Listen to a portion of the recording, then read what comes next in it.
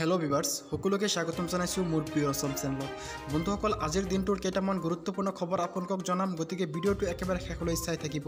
ইয়াৰ আগতে আপুনি যদি মোৰ চেনেলটো এতিয়াও ছাবস্ক্ৰাইব কৰা নাই তেন্তে এনেকুৱা ভিডিঅ'বোৰৰ আপডেট সবাতোকৈ আগত পাবলৈ মোৰ চেনেলটো ছাবস্ক্ৰাইব কৰি কাষত থকা বেল আইকনটো প্ৰেছ কৰি দিব আজিৰ প্ৰথম খবৰটো হ'ল অসমত দুই সপ্তাহ লকডাউন বৃদ্ধি কৰক প্ৰধানমন্ত্ৰীক এই আহ্বান অসমৰ মুখ্যমন্ত্ৰীৰ।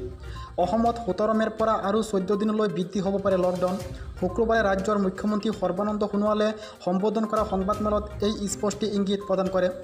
কেন্দ্ৰই বিগত দিনত শ্ৰমিক কৃষক আৰু ক্ষুদ্ৰ উদ্যোগৰ বাবে কৰা ঘোষণাসমূহ আদৰণি জনাই অসমৰো লাখ লাখ লোক এই পদক্ষেপৰ পৰা লাভৱান হ'ব বুলি তেওঁ কয়।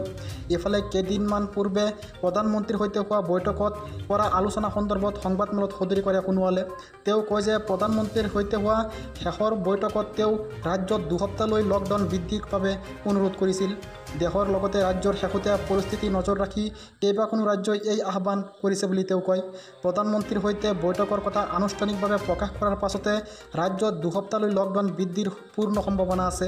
উল্লেখ্য যে কেৱল অসমেই নহয় বিহাৰ মহাৰাষ্ট্ৰকে ধৰি কেইবাখনো ৰাজ্যই শুক্ৰবাৰে কেন্দ্ৰক মুকলিভাৱে একত্ৰিছ মে'লৈকে লকডাউন বৃদ্ধিৰ পোষকতা কৰিছে। আজিৰ দ্বিতীয় খবৰটো হ'ল মৎস্য পালকসকলৰ বাবে সুখবৰ। কেন্দ্ৰই মুকলি কৰিছে বিছ হাজাৰ কোটি টকা। প্ৰধানমন্ত্ৰী মৎস্য সম্প্ৰদায় যোজনাৰ বাবে বিছ হাজাৰ কোটি টকা মুকলি কৰিছে কেন্দ্ৰই। এই আঁচনিৰ জৰিয়তে পঁচপন্ন লাখ মৎস্য পালকে লাভ কৰিব সুবিধা। পাঁচ বছৰত সত্তৰ লাখ টন অতিৰিক্ত মাছ উৎপাদনৰ লক্ষ্য। আগন্তুক পাঁচ বছৰত আত্মনিৰ্ভৰশীল ভাৰতৰ বাবে এই আঁচনি অধিক যোগাত্মক হ'ব বুলি ঘোষণা কৰে বিত্তমন্ত্ৰীগৰাকীয়ে। আজিৰ তৃতীয় খবৰটো হ'ল মৌ পালকসকলৰ বাবেও সুখবৰ।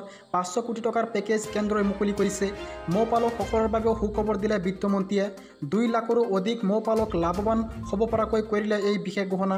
মৌ পালনৰ বাবে পাঁচশ কোটি টকা ধাৰ্য কৰিছে কেন্দ্ৰই। গ্ৰামীণ ক্ষেত্ৰত মৌ পালকসকলে এই আঁচনিত অধিক অগ্ৰাধিকাৰ পাব বুলি ক'লে নিৰ্মলা সীতাৰমণে।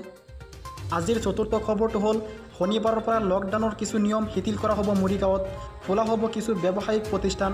অৰেঞ্জ জোনত অন্তৰ্ভুক্ত হোৱাৰ বাবে মৰিগাঁৱত প্ৰযোজ্য হৈ আছে লকডাউনৰ সকলো নিয়ম।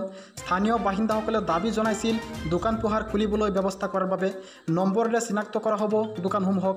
জানিব পৰা মতে অযুগ্ম সংখ্যাৰ দোকানসমূহ শনিবাৰৰ পৰা খুলিব মৰিগাঁৱত। গতিকে ভিউৱাৰ্ছ এইকেইটাই আছিলে আজিৰ গুৰুত্বপূৰ্ণ খবৰ। ভিডিঅ'টো ভাল লাগিলে সকলোৱে লাইক কৰিব আৰু এই ভিডিঅ'টো আপোনালোকৰ বন্ধুবৰ্গলৈ শ্বেয়াৰ কৰি দিব। ধন্যবাদ।